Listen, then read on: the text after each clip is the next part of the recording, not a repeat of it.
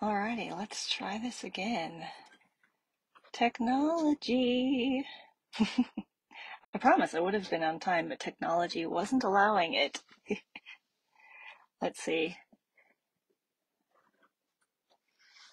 And we should have, let me make sure the live stream is on, and I have a guest that should be hopefully able to join.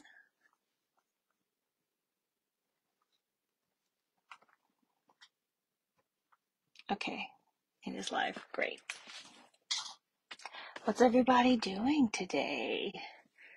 There we go. I just sent an invite. There we go. Who says autistic people can't be flexible? Yay, thank you for rolling with the punches on the technology. I really appreciate it. Everyone, well, you welcome. know, something can, the thing about plans is that sometimes they don't, something can always go wrong. So I've learned. Yeah, and that's why I try to have two plans so that if one does fail, I'm not going to spiral because if I didn't already have this backup plan, I probably would have spiraled and been panicking a little bit, like honestly. But I was like, just in case, although I was so confident Zoom was going to work for us. So usually uh, yeah, Zoom is okay, but they like updated their terms. So like it's, it is kind of glitchy now. So yeah, whenever there's an update, some kind of yeah yeah, I might have to toggle something in my permissions or my settings. So, uh, welcome everyone to Asking Autistics Live with Phenomenally Autistic. And literally, I had to like practice saying phenomenally, phenomenally. That's like a hard word for me. Um, we are live on Wednesday, September 13th, 2023. Uh, it's 208 Mountain Time. What is it? 3 Central and 4 Eastern? Is that right? Yep. Four, uh, okay. Uh, so uh, yeah, uh, we, we've got a guest here today, which is really special because we don't have guests very often. Uh, and I've really been wanting to speak with this guest for a long time. Our our paths crossed. I feel like it was TikTok where I probably yes, came across you. Uh, and we, and we were talking about the, the TikTok a little bit offline earlier, which that could be a whole rant. So we won't go into that. Uh, yeah. I feel like you're like a hidden treasure on, on Facebook. Like not enough people on Facebook have, uh, know what you're up to. So hopefully this will expose more people to you on Facebook because you're like a little hidden gem there.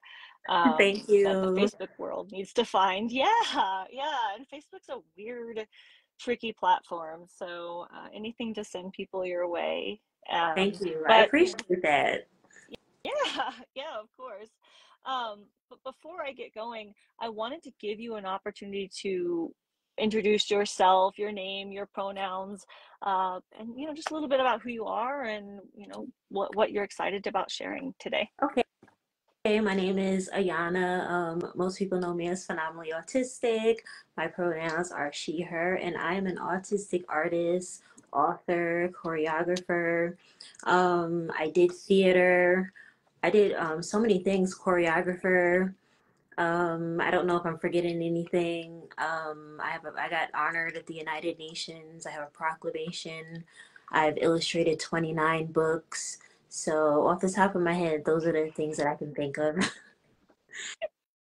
yeah, you, you i feel like you have done a lot of things. Uh, what's your favorite I, am throwing you a curveball question this wasn't on the script but what's what's your favorite book that you've done or what, what book are you most excited about? The new one that is, that is out now that i'm that i'm like really pushing um i'm autistic and i'm phenomenal of course. I love it. Um so obviously uh, we, we know you're neurodivergent because you've already shared that you're autistic and it is in the name. Can I ask when you learned about your neurodivergence and if there are any other neurotypes you feel like sharing or, um, you know, totally yeah. up to you? Um, I am autistic and I have ADHD. Um, we learned that I was autistic about eight years ago and um, it was a total accident. I was in the hospital for what was I there for? I was always in the hospital. I am chronically ill. I have five autoimmune diseases. Lucky me. But it could be worse because there's over a hundred autoimmune diseases. So I only have five. So, um, but I wasn't connecting with my doctors. I wasn't speaking to my doctors. They'd ask me a question and I just kind of look at them and turn away. Um, it, it's, it's really hard for me to speak to people one on one unless they're my family, if you're like right in my face, I probably won't speak to you. Um, I'm definitely not going to look in your eye. Um, so they just kind of noticed something and they spoke to my dad and they were asking him, Well, how was she when she was a little girl? And so he, he told them how I was. He said that I was withdrawn. I usually just would like to sit in the corner. I like to be left alone. I had black and white thinking. So they, they brought in an evaluation team and they evaluated me and I didn't know what they were looking for. So they came and it was a really long test and I was getting irritated, but they let me take a break and um, the the women were really nice. It was two women and they came back and they were like, yeah, she's on the spectrum. And, you know, we found out um, that I had um, ADHD. Um, only like two years ago, we found out that I was dyslexic, but I kind of knew that because I struggle to write. If you ever see me write a long caption, it took me a long time to do it. Um, so I got my diagnosis by accident. Yeah, that's lucky. I, I think it's so lucky uh, because so I, I think often about how many neurodivergent people in the world just might go completely unnoticed yeah. and we, we just will never know. Yeah. Uh, just looking at my family alone like i see like members of my family and i go yeah, yeah we're very alike you know? Yeah I, uh, I i see some people but i'm you know i don't want them to be like you you're not no doctor but I see a few people in my family because you know it does run in, in people's families, and I'm just like, you know, y'all was talking about me that I'm a little, little weird, and I'm like, well, you guys are a little, little strange yourself, but I'm not gonna say anything because who am I? mm-hmm. Yeah, mm-hmm. yeah, exactly, and it's it's hard. Like sometimes people eventually like figure it out for themselves, but you can't just drop that on yeah. them. It's like it, I don't know, it just doesn't go well. Every time I've tried to like drop that on someone, it hasn't gone very well. They've had to like notice and draw connect the dots themselves i think uh, because there's so much cognitive dissonance i think between what people think an autistic person is and what an autistic person yeah. actually is like it's it's not the stereotype when they told me i was autistic i was like no i'm not that's for white people like i had never met a black autistic woman um maybe i had seen a black autistic little boy here and there but as far as a a black autistic women. I, I I didn't know anybody else. I didn't connect with any other black women until I got on TikTok. So mm-hmm. I was like, I ain't not autistic. That's so that's for white people. So I and it took me it took me a year to even accept my diagnosis. I did not accept it, and I had like so much self hate. It took me a year to finally accept it and finally love myself, and finally embrace it. So it, it was a it was a journey how how how much of an impact do you think not having good representation had on just your your journey with trying to accept that part of yourself? Um it was it had an impact because i'm like okay well i don't know or see anybody that that is like me so i don't want to be out there on my own and be still be a freak because I was a freak before. You know, I got bullied in school. So okay, you were a freak before, and now you're out here by yourself. So you're still a freak. So I think that was why it, it impacted me that way, and why I was just like, I don't I don't want to be autistic. So that, yeah. that why. yeah, and I think like you mentioned quickly, like or briefly earlier that you you found your online community and that was like really like i'm guessing empowering for yeah, you because was. it let you it accept was, your diagnosis it was like a breath of fresh air and i'm like look at all these beautiful black autistic women so um and now i have parents of little black autistic girls um reaching out to me and i think that's just a beautiful thing so you know, I have no regrets about sharing my story. You know, once in a while you get the trolls that come on your page, and I'm just like, whatever, blocked. But it comes with the territory. Yeah. Uh, yeah, it took me a while to learn about that because I I didn't understand. I was like, why are people just being mean to strangers? Like it it it didn't register when I first Me either. Started. I'm like, if people you don't over. like it, go away. Go away if you don't like it. Get out of here. yeah, it, it's sad that so many of us who run public facing spaces and pages have to become basically numb almost to the trolling yeah. and like to the just the nastiness the things people would never say and do to someone to their face you know? It's horrible. Uh and, and I, I, hate that you've experienced it too but i, I can't say that i'm surprised because of how just not, yeah I, people on the internet like, are. like all right well yeah. you're blocked you're blocked Good for you. Good for sometimes you. Sometimes it's people who aren't even following me, and I'm like, get off the hashtag. Get off the actually yeah, autistic hashtag. Go away. Get off the neurodivergent hashtag. Why are you bothering us? Go away. Yeah. And there are people that literally like troll the yeah. hashtag looking for people. That's what they like, do even like some autism moms do that and i'm like yeah. you guys you guys think we're a bunch of idiots so go away do you not know that your child is going to be an autistic adult one day i i will never understand that because it's like i would think as a parent you would want to treat people the way you hope your child is going to be treated one day when they're an adult but the way the i think they get just go around upset because most autistic adults don't support ABA therapy. I know I don't.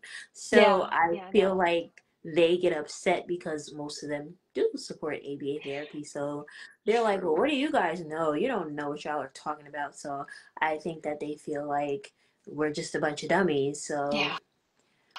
Yeah, no, you're and you're not wrong. ABA is the big um thing in there. It's like I have my thoughts about ABA and I like wait until I can put them all into one really long post because I know I'm going to have to mentally prepare for mm-hmm. whatever comes out of putting something out into the internet about ABA because the people who buy into that ideology are so embedded in it and so invested in it.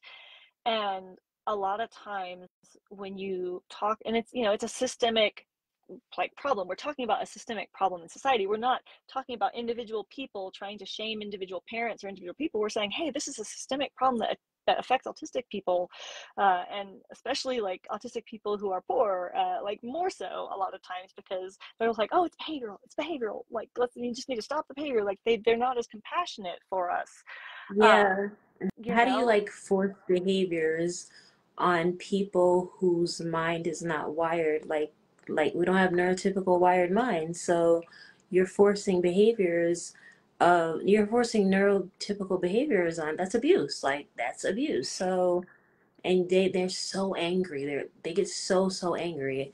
And one lady was like arguing with me over the Sia movie. I was like go watch it and enjoy it oh no. yeah. Yeah if you love it so much please go watch it yeah like convince me dog crap is gold. Like i'm sorry. You can't convince me.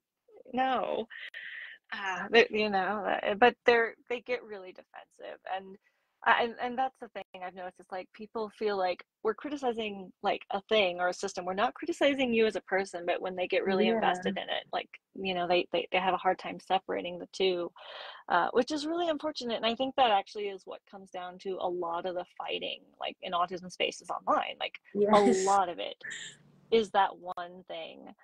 Um, yeah, and it's funny because in other countries, like it's not even the stronghold that it has here like when I started doing a lot of my work, it was originally in uh, with a lot of advocates in the UK where it's not the gold standard over there.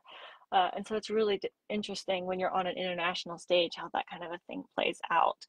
Uh, but we have totally got sidetracked. That's not where I was trying to go. yeah. but I guess we can go really far in the opposite direction though, because it's it is important.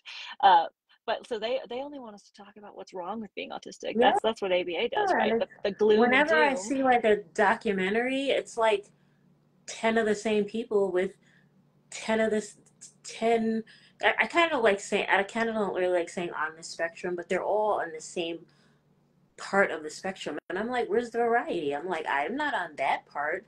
So it's, it's always the same side of autism and if they always want to push the same narrative and i'm just like like i i did not enjoy love on the spectrum and people were like raving about it and i'm like well i hated it so i don't yeah.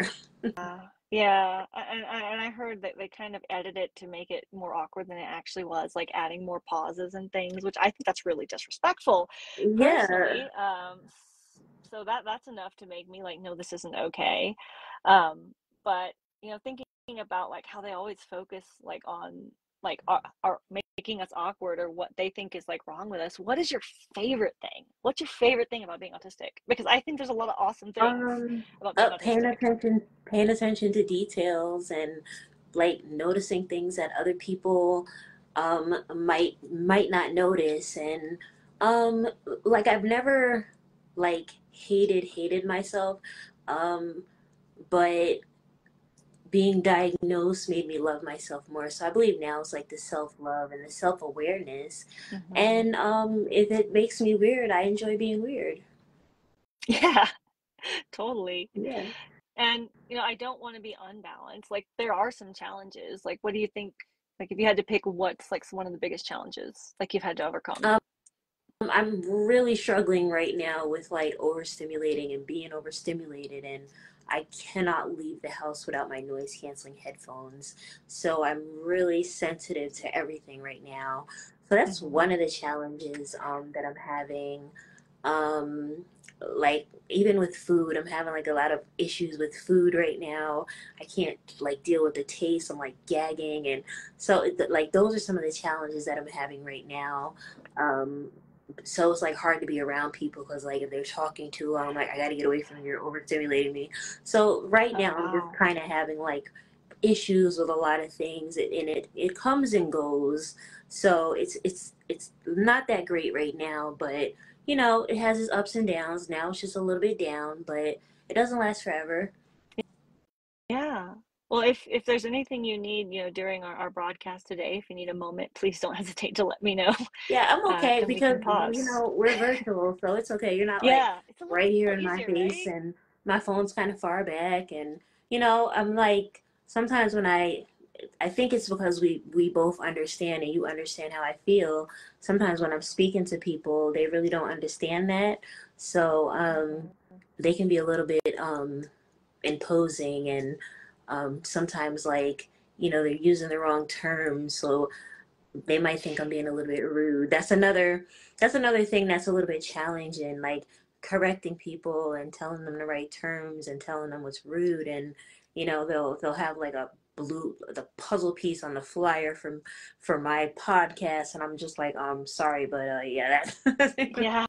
Ah, so like mhm. those are some of the challenges like just trying to you know tell people what's correct and what's we don't support that and yeah Yeah, hi dog. Uh, yeah, and that'll ha that, that that'll happen too. And I'll I'll get one of those emails and I'll look at something, uh, and then I'll see something's wrong and I'm like, I gotta close this and look at this tomorrow because I, I mentally need to prepare for a day before I deal with this.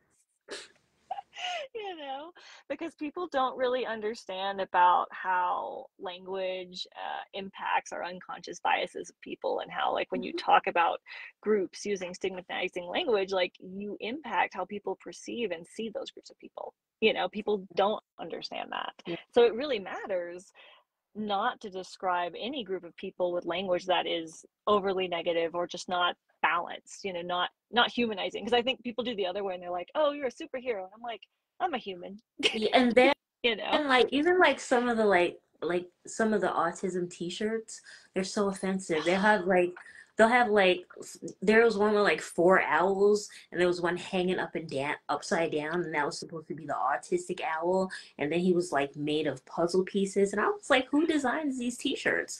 Some of them are so offensive and then I put a video on TikTok and like people were like offended because I was like sometimes I see whole families wearing matching autism shirts and they have like the most offensive t-shirts on and this one mom was like and I said something about ABA therapy and she was like well my daughter's in ABA therapy and like okay well that's fine she's not my daughter but this is my opinion about ABA therapy.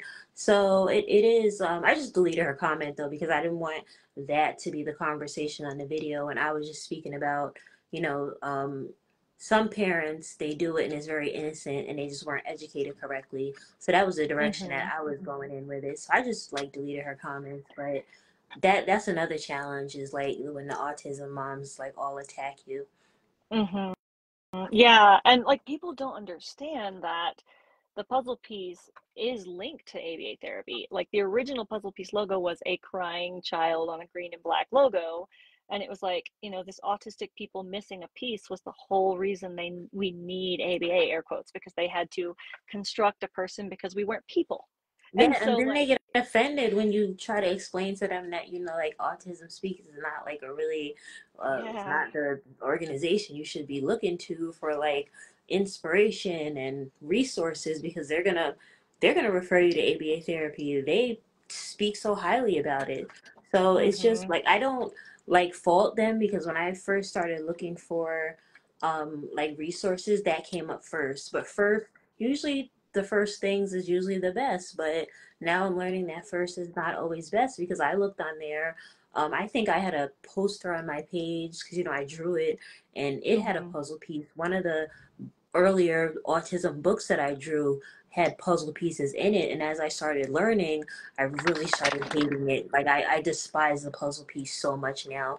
So like, you know, as you go along Yeah, you learn, and I still have it on my page because, you know, I just want people to see the how, you know, growth. I, as I went along, Yeah. my growth and how I learned and how, yeah, I, I, I did see these things on the Autism Speech Speaks page, and I freaking hate Autism Speak now. So, um, Yeah.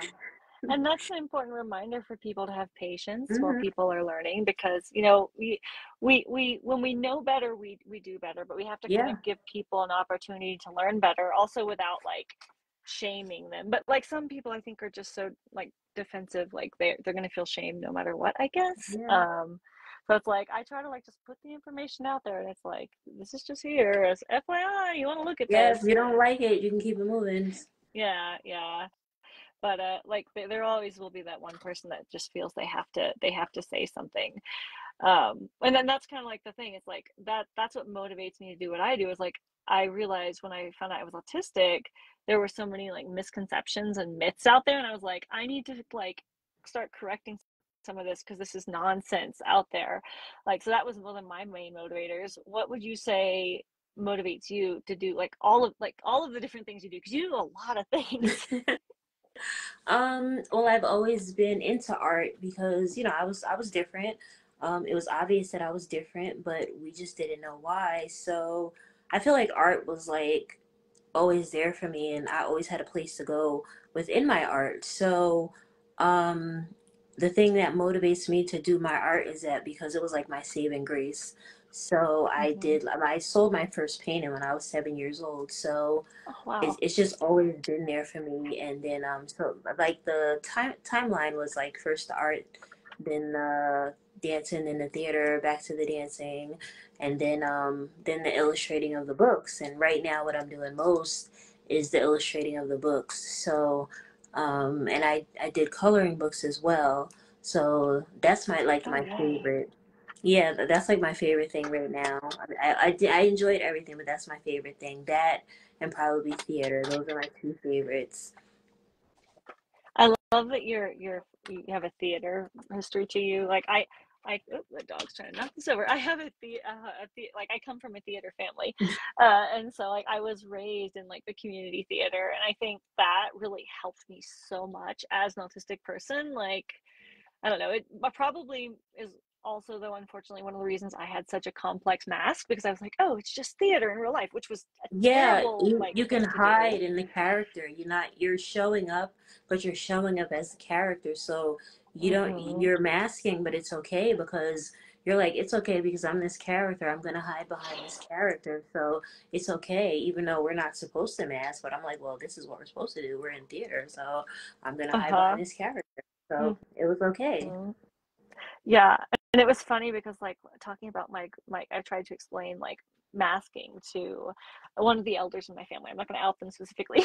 and I was trying to because I, I they're like me. They're like just like me. I was trying to explain like the camouflaging and the masking to them, and, and they described it just as you did. Like that's just what you do, you know. And they're they're a theater person too. It was like, you know, I think there's something to cool. it. And like looking at it, I was like, you know there's probably a lot of neurodivergent artists and and theater people out there and really like that creativity because like for me as an autistic person like similar to how you said art and like the different like hobbies where i can just kind of do by myself with not anybody else like intervening and i can just kind of be with it are so like rejuvenating and crucial and when i was burned out and unwell i think that creativity was like one of the first things to go Yeah. which was really hard because it was like then I didn't have those those coping they really are like coping The coping skills, you know? the coping mechanisms. I had a period of time where I wasn't doing like it, I really wasn't doing with my art. I got back into my art probably during the pandemic. Like there was a few people that I was just like inspired to do art for, and that kind of really got me back into art. And I learned new skills and um like from 2020 to now like my my style of art it just got better and everything like even my illustrations if you look at the books that i did before it and you look at the books that i did now everything is just everything just looks better and just like my skills skill set just improved so much. So i did have a time where i wasn't doing that. I wasn't drawing. I wasn't painting. I wasn't doing any of that. I was just like everybody was like how come you don't be drawing no more? How come you doing all i was like let me alone. So you know something i think about artists uh, and maybe this is why being autistic might help artists is that I noticed like I took years off from art too and then got back into it. And when I got back into it, I think because even when I wasn't doing art, I was actively noticing art in the world, like the shapes and the shadows of the world and yeah, you pay at attention to the details. Yeah. So it was like I was still thinking like an artist even when I wasn't doing art. And so when I picked art up again, it was like I had still had some kind of skills improve even when I wasn't doing art, mm. which I didn't expect, Yeah. you know? Which is kind of cool. I, I it's interesting to hear like you kind of you've had a little bit of a similar experience. That's kind of interesting. Yeah. like I don't want to do it. Leave me alone. yeah, yeah. But it, it's it's I'm gl- I'm glad you're doing art Thank, again. Um, thank you. and look to see more more stuff from you. Uh, so back to I guess a little bit about the challenges. If you could change one thing to make our world more accessible to autistic people, what would you change? Um, the ignorance in other people Yeah. because I feel that um we didn't ask to be born this way. Um, I feel like a lot of us are okay with ourselves. You know, like we have our ups and downs, but we don't hate ourselves. So why do you hate us?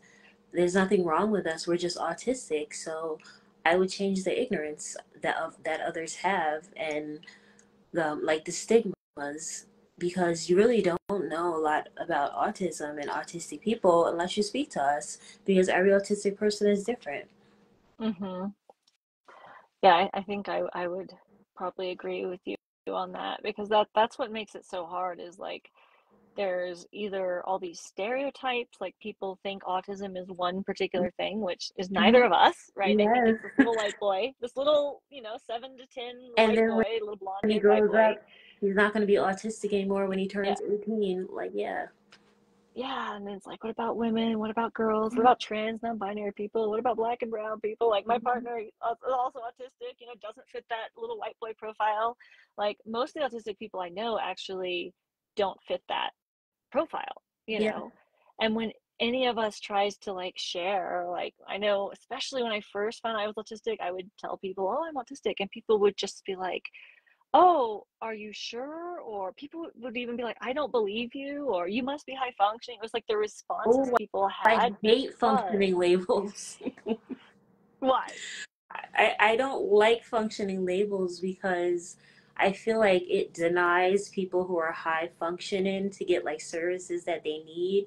And like because you don't know what somebody may need because you think they're high functioning. You don't know what they what they're dealing with behind closed doors. Like they may look okay because they're masking and get home and fall apart. So I, I, I really don't really don't like functioning labels because um you're autistic. If you're autistic, you're autistic. Yeah, I, I agree. I 100%. And that was like the thing I noticed when I tried, I was like, I went through this diagnostic process, you know, at 29. And at that point, I was like, well, why bother? Well, I need accommodations or I'm not going to be able to keep working. So I was like, I got to do this. And then I had the diagnosis, and then it was like, oh, you're too high functioning. You know, you never asked for accommodations before. So you must be high functioning. So that means you don't need accommodations. It was like, wait, what? Like, I was literally falling apart. Like, my mental health was horrible. My physical health was horrible. Uh, and they're like, "Oh, but you're so high functioning." It's like you you've seen me like wasting away, lose like 30 pounds in like a couple months, and I'm I'm sick, and you know I'm sick. Uh, but I, I I'm high functioning, you know. It's like wow, yeah. Did you did you have you ever had trouble where you're trying to ask for accommodation and they're like, "Oh no, you're too high functioning," or you know, said, "Oh, I'm not going to give you accommodations." Um, well, when I was diagnosed, we really weren't given like we they kind of was just like, okay, you're autistic. Um, there you go, you're autistic. Bye. So we weren't really given. We had like no idea what to do. um, any therapies that I got. My dad kind of went online and did some research. So we were, it was just kind of trial and error with us. And we found that the therapies that worked best for me were CBT therapy and DBT therapy. So uh, we just we just found what worked best for me mm-hmm. and what helped me. And my dad did that, so nobody helped us do that. My dad did that, so we got nobody gave us any help. So my dad did everything. And and that's the thing that I've noticed is really common, especially if you're an autistic adult. Like if you're an autistic kid, well, maybe this is worse. You're you're handed the uh, that autism speaks packet a lot of times, which yeah, is they like the ABA. terrible.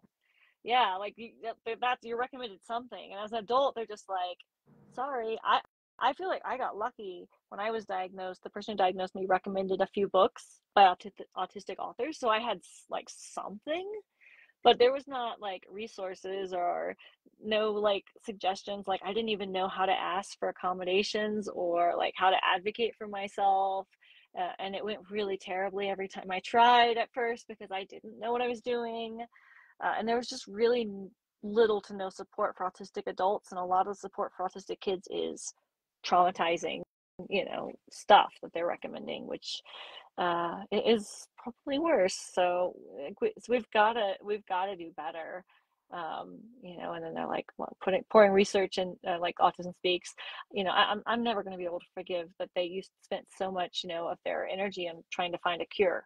You know, for autism, even if they remove that language from their their you know their thing, it's like that. That's still I'm still suspicious. You know, because all of that money looking into a cure could have looked into like providing maybe better resource packets to help autistic adults you know to help us learn about our sensory profiles or to to help us like explain our needs to people like i could have like give me some scripts like that would have been priceless to me when i was first diagnosed because uh, i didn't know how to deal with it um, and, and how, how long would you think it took you to get to where you could advocate for yourself pretty well? I think that took me a few years.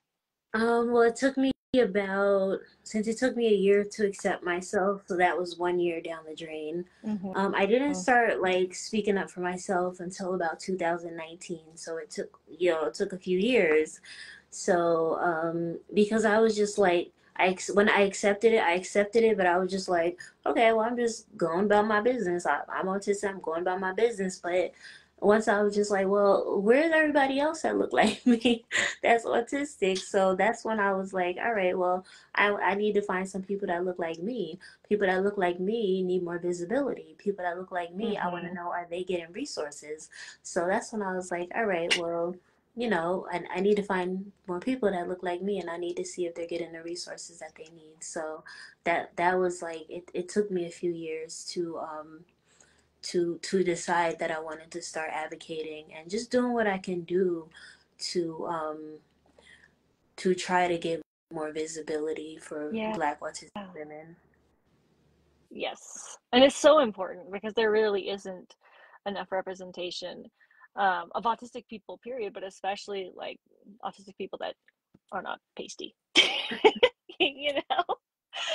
um, us glow in the dark folks. Uh, there's too there's there's there's so many of us um, that you know we need more representation. We need more autistic women. We need more autistic trans people um, and autistic adults. Uh, but yeah, especially. Um, hang on a second. I just lost my my point on the scrolling. It like lose my track of thought. Hang on. Okay, here we go. Um, so we were talking a little bit about the diagnostic process, uh, and we, we we we know because we talked about this a little bit already that it does kind of cater to, you know, one specific type of autistic person. Um, like, what do you think about the diagnostic process, and like how how could it be made better? How could it, you know, what do we need to do to fix it? Because it's so broken. Like, if for something like, what would one thing from your perspective do, like be to like make it more inclusive and fix it? Um, well, a part of it seemed like it was for kids.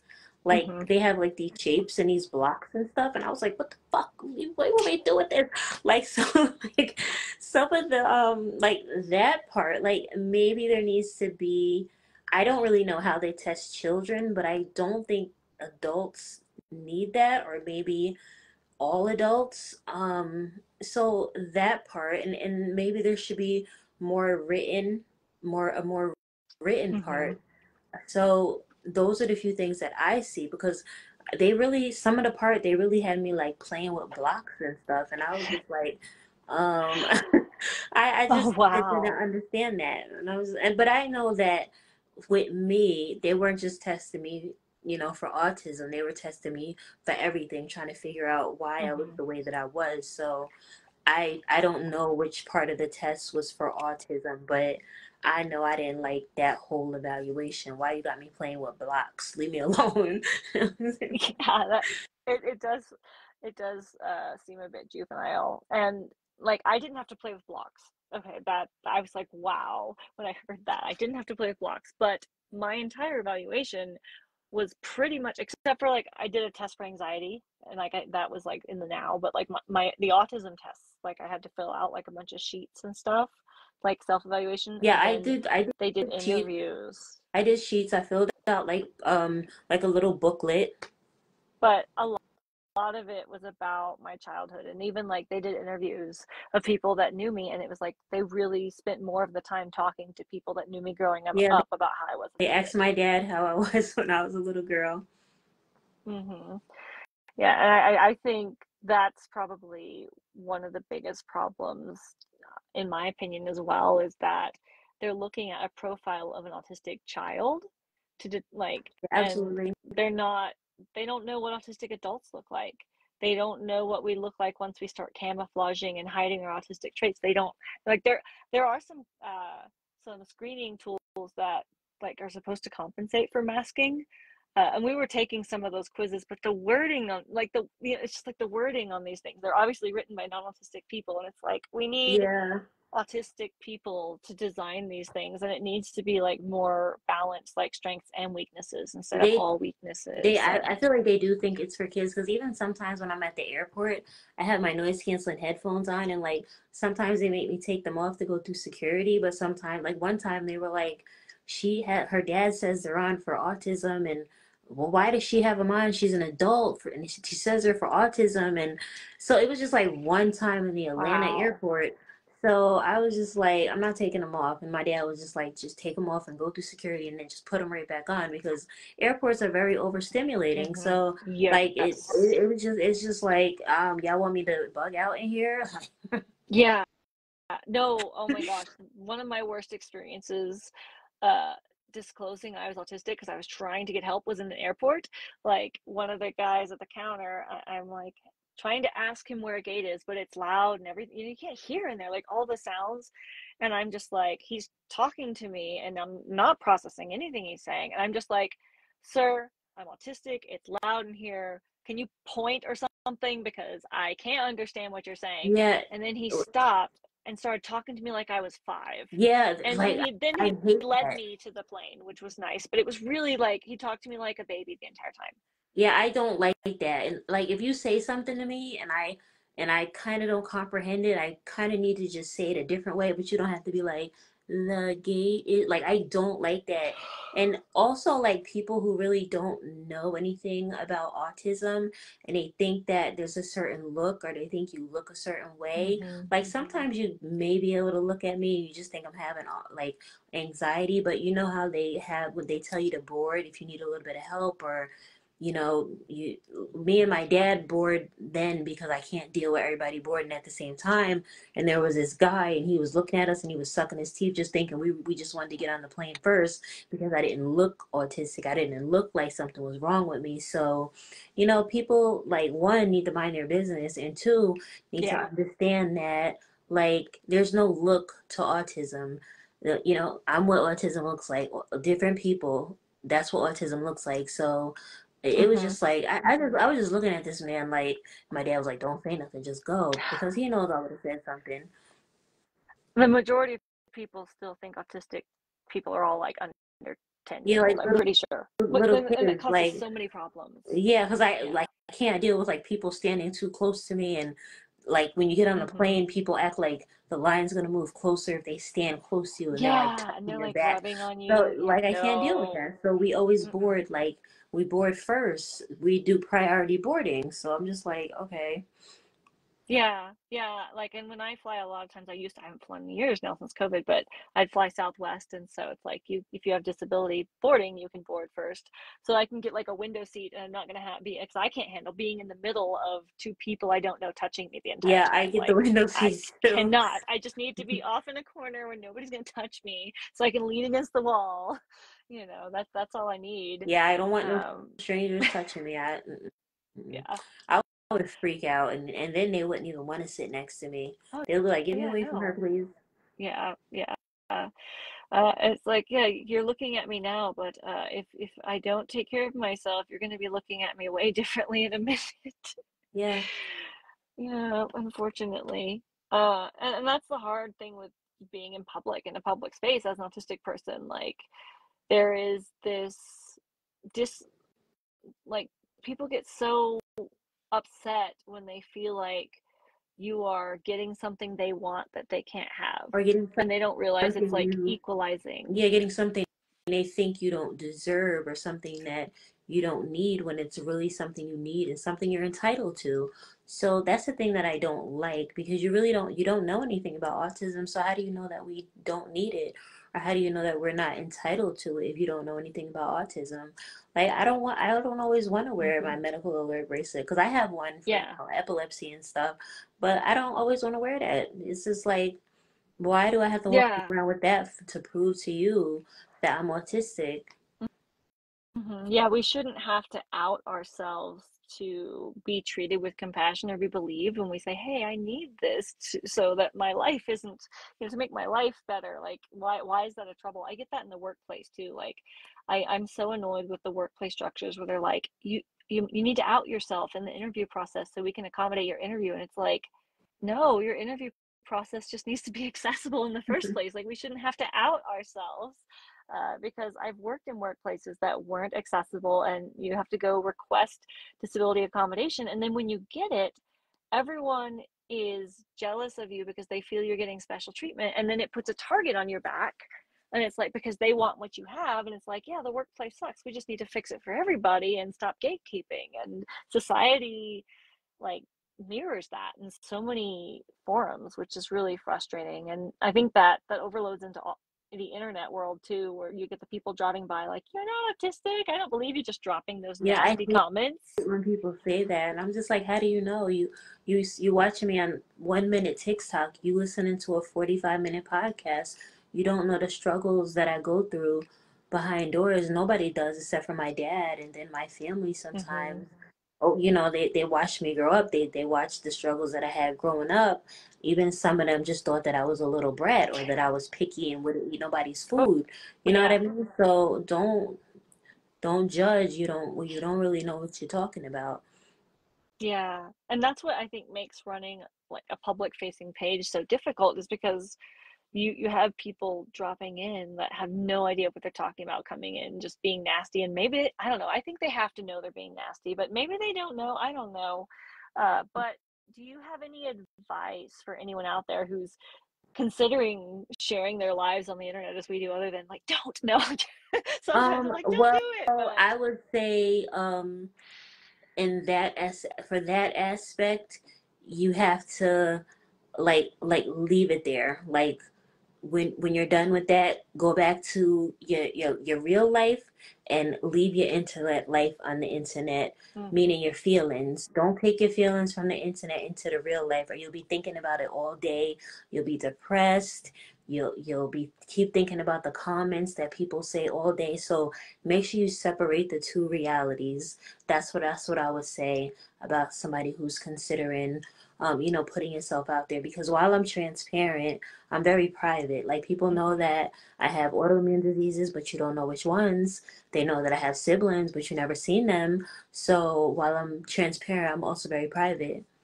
yeah and that's important too like with us like people know we're traveling they never know where we are in the moment they know where we are, but they're you know like we have you have to be really careful and protect yourself because there are people out there with malicious intent who will want to harm you and do bad things with information so you really do want to like be aware of what you're sharing i think that's really wise advice uh, just to, to protect yourself. And also, I would say uh, for autistic people, because a lot of us, like, it's hard to switch things off. Like, when we ruminate, we get stuck on something.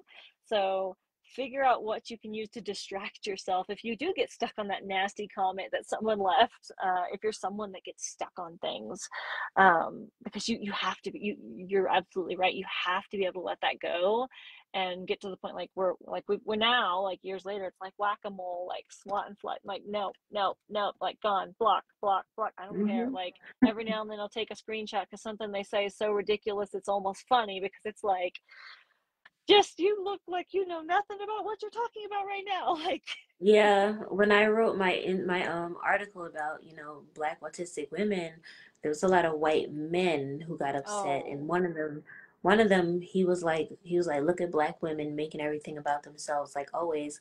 But then he was like i have um two autistic nephews. And i'm like okay so you're saying we're making everything about us, but you just brought in your two autistic nephews, meaning you're making it about you. So I was like, you're blocked. You know, I I, I don't have time for that. Yeah, good for you. and that's the problem. Like some people, especially probably white guys, uh, are used to everything being about them. Like a lot of times, and I got that too when I first started talking about my LGBTQIA intersections in my life with being autistic. Because at first I didn't really talk about them on my page. Uh, and then when I started, like I almost completely made a whole different page for it because there was a demographic of people that were like, I don't want to see this on an autism page. Like, th- what does this have to do with autism? And it's like a lot for me personally. It's a major intersection in my life. Uh, and it's like also too, this never was really just an autism page. It's a page about my life, and I happen to be autistic, so a lot of contents about autistic stuff because that's like the most things people don't know about you know they're uneducated about but uh there, there's just a, a bunch of nonsense out there you know? Definitely. Um let's see uh oh wow we're getting down we got two more questions then we can look and see if there's anything in the comments uh the the next one is is there anything you want people to know or are there any um you know just anything you want to share uh, before I, I, let you brag on yourself and your projects? Anything I we'll want to look share. at questions. Yeah. Anything I want to share. Anything I want to share. Um, I don't know. No, not really. You asked some really good questions, so I, I shared. You know, you, I shared my opinions you led us and some good directions to some stuff I didn't even know we were going to get into. it was. It you was, asked really good fun. questions and you you you you were uh, you were really willing to to share uh, and I appreciate that because some people aren't willing to touch some of those topics like the ABA stuff. So you know, I appreciate yeah, you even I, being willing to go there. I, I appreciate it.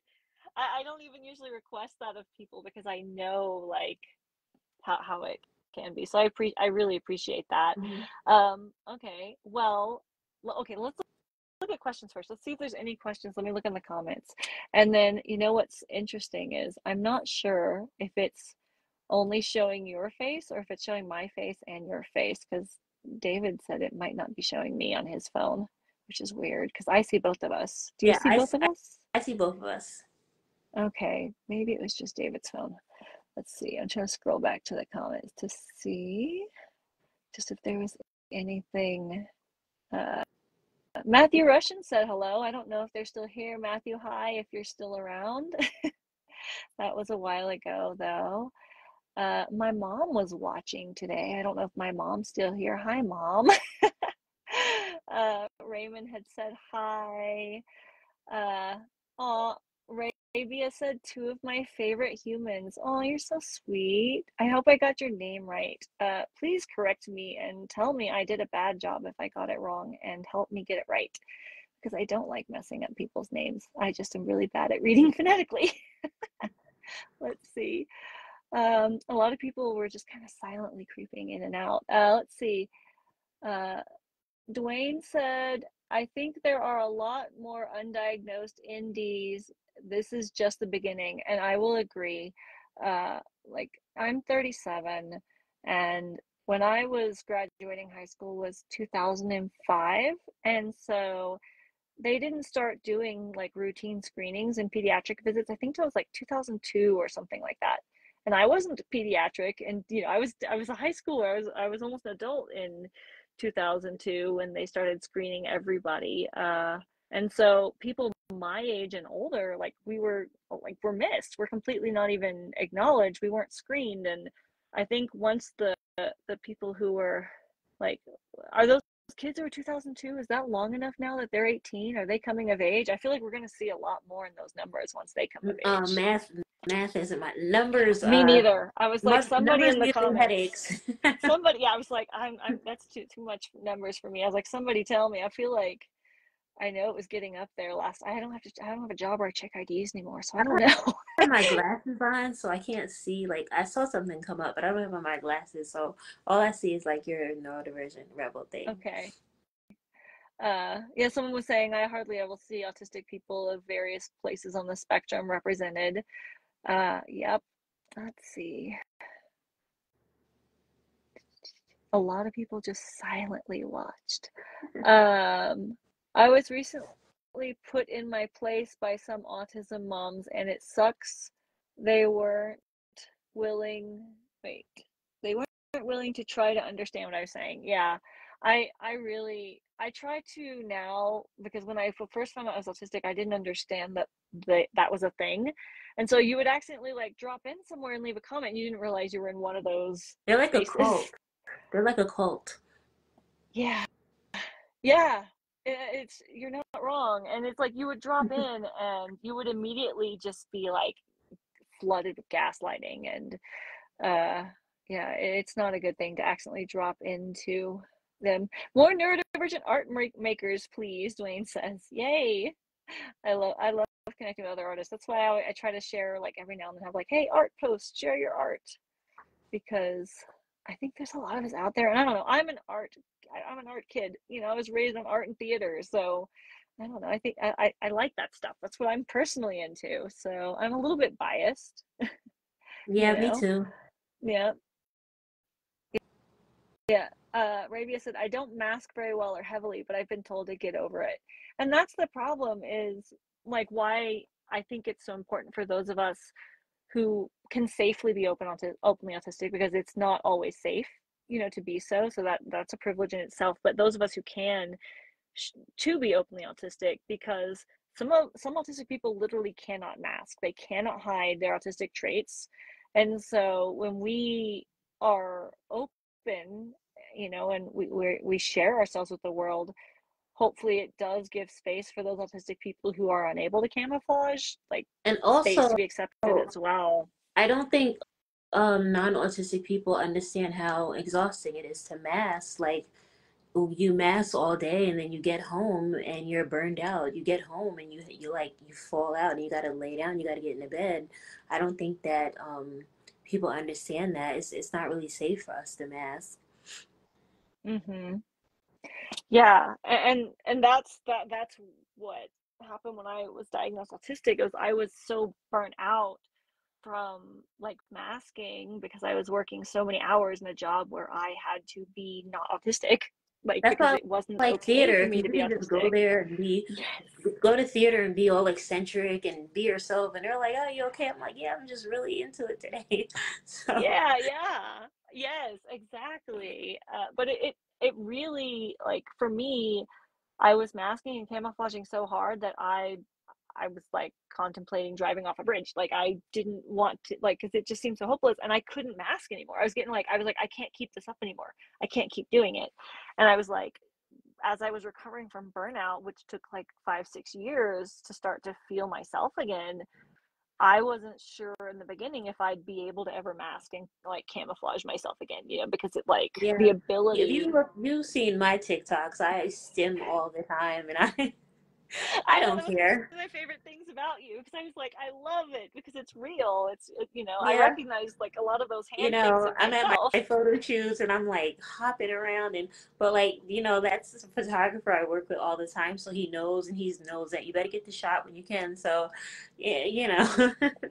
Yeah, yeah, exactly. Uh, and, and, like sometimes, like Dave will be like, "What'd your hands do? I liked it. It was cool." I was like, "I don't know. They just do stuff," and because I feel comfortable, you know, around my partner, uh, like they do all kinds of stuff. I don't even know what they're doing, you know. And w- when I just like had to be somewhere where it wasn't appropriate, because I would get like on my reviews, I would have notes about like my posture and my body language like literally in my performance reviews at work like inappropriate posture and body language in front of clients like was a or thing sometimes like i slouch over for comfort like it's like yeah. comforting and sometimes like i like to wear like a lot of hoodies and people are like why you got on a hoodie because it's comforting and you feel safe mm-hmm. so i don't think yes. people understand that and they, i saw like this thing for like a weighted hoodie so i need to look into that because if they have that i need it that that sounds perfect. I love my weighted blanket. That yeah, was like life changing once I got cheap enough and like that I could afford one. Eh, with the the with the weighted blankets, like everybody used to laugh at us for having one, but now like since the neurotypicals discovered them, now they're like okay and they're cool now because why did the neurotypicals have to accept it and think that they were cool, but we were all crazy and weird when only we had them? Yeah, uh, and that's that's kind of actually the annoying thing. Like uh, watching a few years ago when fidget spinners got trendy, it was like now everybody has a fidget spinner, and like yeah. when we had fidget which tools. is like which is bad because when autistic children needed them in school, they can't have them anymore because everybody has them, trendy. in school. So the teachers mm-hmm. would take them even from the autistic children, and that's so unfair. Yeah, and you know it's it's annoying that it has to be mainstreamed by non-autistic people before it's socially acceptable. Like that's yeah, just so frustrating. It is. But I but I guess the good side of that is like I always try to look on the bright side of something is a lot of the things like the sensory weighted blankets used to be so expensive. It used to be like 200 bucks for a weighted blanket and I was like I can't pay 200 bucks for a blanket to see if it works. Mine was like affordable. Yeah, mine but when I got my first one, it was like 140. So oh, wow, it wasn't nice. 200. And then like cuz I got two, the the most recent one that I got, it was like $80. So it wasn't as much as the first one that I got. So um and I want a new one just because so yeah. I don't and know I just really gotta look around and see. I don't know how much it's gonna be yet. So I'm just gonna look around. Yeah like a lot of times you can find them in like clearance sections of like those like box stores and stuff that sell like furniture uh, and get them for like half price. Like I'll go creep. I'm like, hey, do they have weighted blankets? Like I gotta go creep the weighted blankets because now they have like fuzzy covers and you can unzip them and they're they're and they're not. I mean, it's still not like as expensive as they were, which is really kind of cool. Like if I had to pick a good thing, it's like sensory gear is getting a lot more accessible and affordable. Like if there's a bright side for it, I guess. so uh final final question um what projects are you working on right now?